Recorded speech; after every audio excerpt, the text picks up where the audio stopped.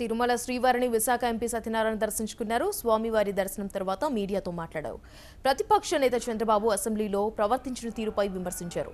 సుదీర్ఘ రాజకీయ అనుభవం ఉన్న నేత సభ సంప్రదాయాలను పాటించకుండా ప్రవర్తిస్తున్నారని ఆరోపించారు.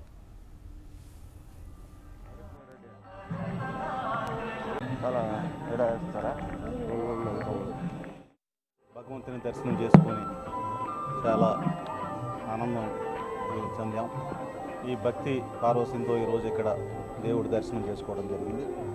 దేవుడి వారిని మన రాష్ట్ర ప్రజలు దేశ ప్రజలు మన విశాఖ మా విశాఖపట్నం ప్రజలు అందరూ సుఖశాంతులతో ఉండాలని అష్ట ఐశ్వర్య ఆరోగ్యాలతో ఉండాలని దేవుడిని ప్రార్థించడం జరిగింది.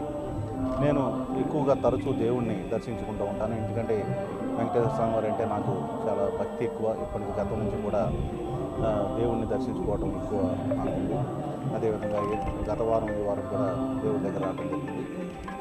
ఈ- ఈ గత ఐదు రోజుల నుంచి జరిగిన అసెంబ్లీ సమావేశాల్లో కూడా మన గౌరవ ముఖ్యమంత్రి వర్యులు రాష్ట్రానికి ఎంతో మేలు చేకూరే విధంగా ఎన్నో రకాల పథకాలు ఆయన మళ్ళీ బిల్లులు పెట్టడం జరిగింది. నిజంగా ఆయన పరిపాలన రాష్ట్రంలో చాలా గొప్పగా సాగుతున్నది. ఆయనకి దేవుడి దగ్గర ఆయనకి కూడా ఆయన తరఫున కూడా నేను